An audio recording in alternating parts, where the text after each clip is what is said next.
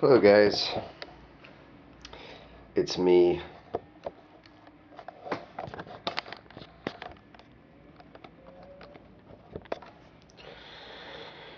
Uh, just trying to give a little note today or whatever. Hey, just uh trying trying to put together another Viggity vlog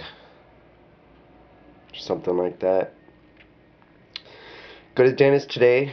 Probably be my last time I get to go until I uh, graduate from school and get some kind of job that has benefits or something. But yeah, hopefully I'll be uh,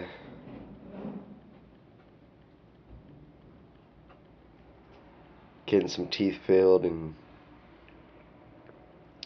getting a replacement tooth for the one that got broke. It was pretty boring.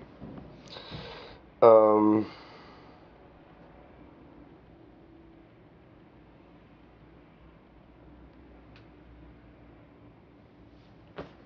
still hot over here in the East Bay, but it's supposed to cool down after today, so that's good. Get some comments lately talking about my appearance being scruffy or whatnot. It's a misconception that I'm not too cleanly, but don't be fooled by the cover of the book. Don't judge me for the way I look. I could explain. No. You know, I don't I don't shave very often because that shit hurts. I don't like it. It's just scruff on my face. It's clean scruff. I don't know why I'm even making this. I need to explain myself to you. Damn it. But a couple of people on my Valentine video said that said that I look too old or or or dirty or creepy even. But that's all right. I understand. Sometimes you gotta come down on people because you're just so great. It's cool. It doesn't bother me. You know, I've been through a lot of shit in my life, I've been called a lot of things.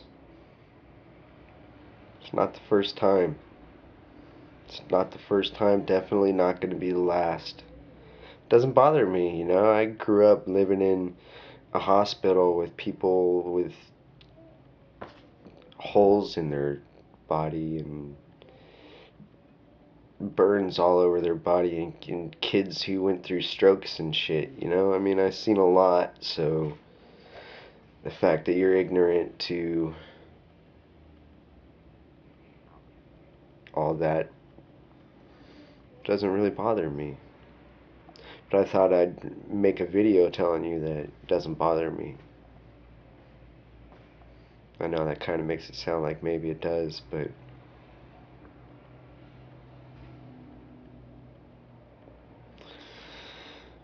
Oh well.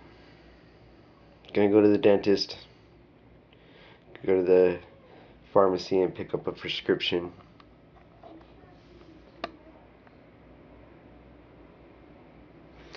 And then I'm gonna come home and try to promote my YouTube channel.